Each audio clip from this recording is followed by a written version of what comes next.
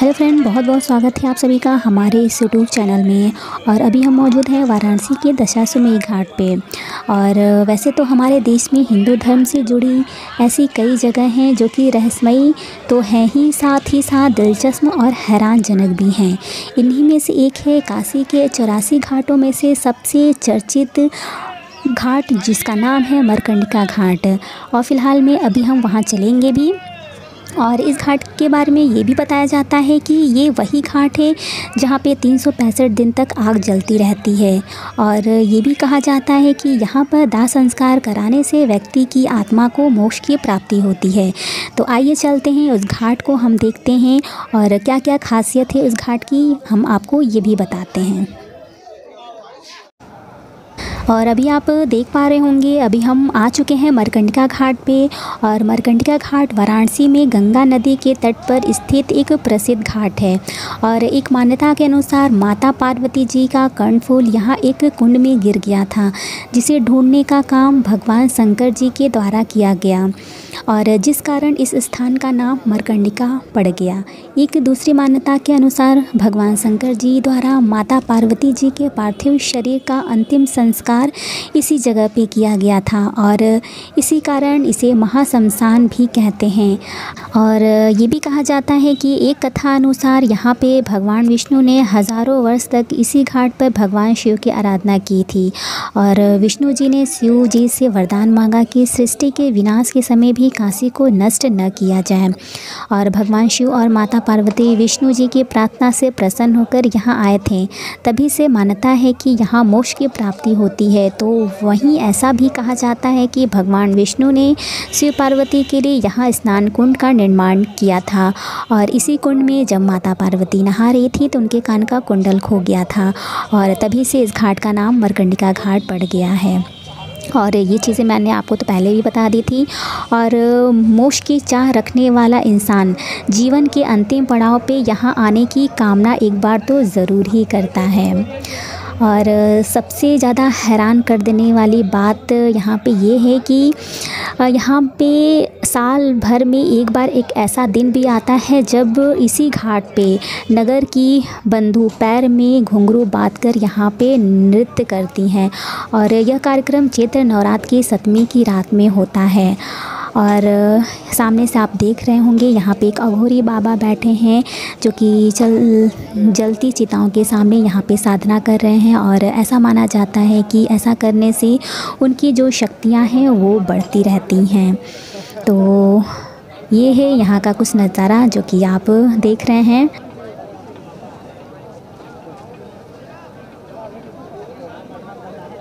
और ये कार्यक्रम चित्र नवरात्र की सतमी की रात में होता है। महाशमशान पर अनूठी साधना की परंपरा शमशान नाथ महोत्सव का हिस्सा है। मौत के मातम के बीच वो नाचती गाती हैं और नाचते हुए वो ईश्वर से प्रार्थना करती हैं कि उनको अगले जन्म में ऐसा जीवन न मिले।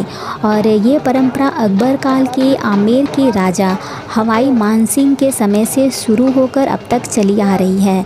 और मान सिंह ने ही पंद्रह में मरकंडिका घाट पर मंदिर का निर्माण कराया था। और बात करें इस घाट की तो यहाँ पे चौबीसों घंटे चिताएँ जलती रहती हैं और यहाँ पे अग्नि समाप्त तो होती ही दूसरी चिता में आग लगा दी जाती है। और वैसे तो लोग शमशान घाट में आना नहीं चाहते हैं, पर यहाँ पे देश विदेश से लोग इस घाट का दर्शन करने के लिए आते हैं। और इसी घाट पर ही ऐसा एहसास होता है कि जीवन का अंतिम सत्य यही है। और ये है इस पूरा शमशान घाट का दृश्य, जो कि आप देख पा रहे होंगे। और ये आकाश में उड़ते हुए प्यारे प्यारे पक्षी, जो कि बहुत ही खूबसूरत लगता है। ऐसा नज़ारा। और वैसे कहा जाता है कि शमशान घाट पे यहाँ पे लड़कियों को नहीं आना चाहिए।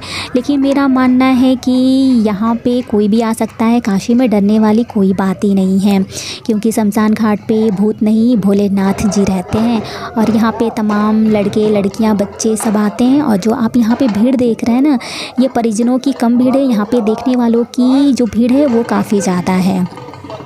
तो बाहर से जो लोग आते हैं, वो यहाँ पे जीवन की सच्चाई को भी देखना चाहते हैं कि मतलब हम हर समय रोते रहते हैं, लड़ते रहते हैं, पैसा, करियर और न जाने किस चीज़ों के लिए हम अपनी पूरी ज़िंदगी तबाह कर देते हैं। लेकिन जो अंतिम सच्चाई है ना, यही है।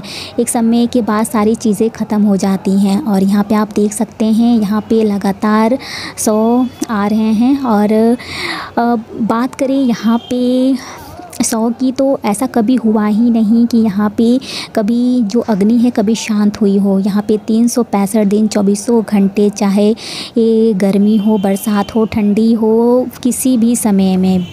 आप जब भी भी आएँगे, तब आप देखेंगे कि चिताएँ जल रही हैं। अभी एक नहीं, कई कई चिताएँ यहाँ पे जलती हैं और ये भी है यहाँ पे। दिन भर में यहाँ पे सौ, डेढ़ सौ, यहाँ पे सौ रोज़ ही जलते हैं। यहाँ पे दूर दूर से लोग आते हैं मरने की इच्छा से, क्योंकि उनको पता है कि हम यहीं पे मरेंगे तभी हमें मोक्ष की प्राप्ति होगी, क्योंकि यहाँ पे बाबा भोलेनाथ का वरदान है। और यहाँ पे जो डूम जाति के परिवार जो रहते हैं, पहली पाँच लकड़ी वही सौ को देते हैं। उसके बाद यहाँ पे ये सौ पे लकड़ियाँ रखी जाती हैं, उसके बाद यहाँ पे जलाया जाता है। और यहाँ पे आप देख सकते हैं, कुछ लोग शमशान घाट पे ही खाना भी बना रहे हैं और इन्हीं चिता की लकड़ियों पे वो अपना जो भी खाना बना रहे हैं, उसको सेकेंगे। यहाँ पे देख सकते हैं दूर से कि यहाँ पे बाटी बनाया जा रहा है और इसी चिताओं की लकड़ियों पे वो बाटी को सेकेंगे, फिर सारे लोग खाएँगे। और आज भी जो डोम राजा का परिवार है, आज भी इन्हीं चिताओं की लकड़ियों से उनके घर में खाना बनता है और वो लोग आराम से खाते भी हैं। और सामने से देख पा रहे होंगे, यहाँ पे भी बड़ी ज़ोरों शोरों से तैयारियाँ चल रही हैं खाने की और यहाँ पे बहुत से लोग खाते हैं। देखिए, यहाँ पे काफ़ी भीड़ है। और यहाँ पे जो वर्कर काम करते हैं वो भी खा लेते हैं और जो नाव चलाते हैं, जो नाविक हैं वो भी खा लेते हैं और जो डोम परिवार के जो लोग हैं वो भी खाते हैं। तो यहाँ पे किसी भी तरह का ये नहीं सोचते हैं कि कैसे बना है, क्या है मतलब किसी भी प्रकार का इन्हें कोई आपत्ति नहीं होता है। वो लोग आराम से यहाँ पे खाना बनाते हैं और सारे लोग मिलजुल के खाते हैं। और यहाँ पे आप देख सकते हैं, ये पूरा अमरकंडिका घाट का दृश्य और यहाँ पे देख पाएँगे कि यहाँ पे लगातार कितनी लाशें जल रही हैं। और इस घाट पे जितनी भी दुकानें हैं, लकड़ी की, वो चौबीसों घंटे खुली रहती हैं, क्योंकि मरकंडिका घाट पे चौबीसों घंटे यहाँ पे चीज़ें चलती रहती हैं। सौदा का काम होता रहता है, इस वजह से सारी दुकानें भी खुली रहती हैं। और यहाँ पे कुछ मीडिया वाले भी आए हुए हैं, जो कि यहाँ पे इंटरव्यू भी थोड़ी देर में इन लोगों का होगा। तो ये कुछ नज़ारा हम घाट के ऊपर से दिखा रहे हैं, ताकि आप हर चीज़ को क्लियर देख पाएँ। और इसी घाट के जस्ट बगल में है काशी विश्वनाथ कॉरिडोर और वहाँ पे भी बनाया गया है मुमुक्षु भवन। जिसका नाम है वैद्यनाथ भवन और मुमुक्षु भवन, वो भवन होता है जिसमें लोग अपनी मौत का इंतज़ार करते हैं, अगर एक शब्दों में कहा जाए तो। और यही तमन्ना लेके आते हैं कि हम यहाँ पे रहें और यहीं पे मरें और मेरा अंतिम संस्कार इसी घाट पे हो जाए।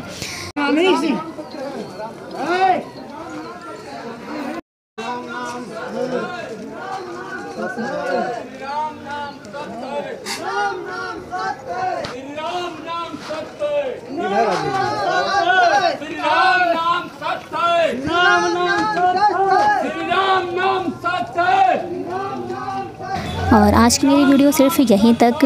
डर नहीं, उससे काल का जो भक्त हो, महाकाल का, हर हर महा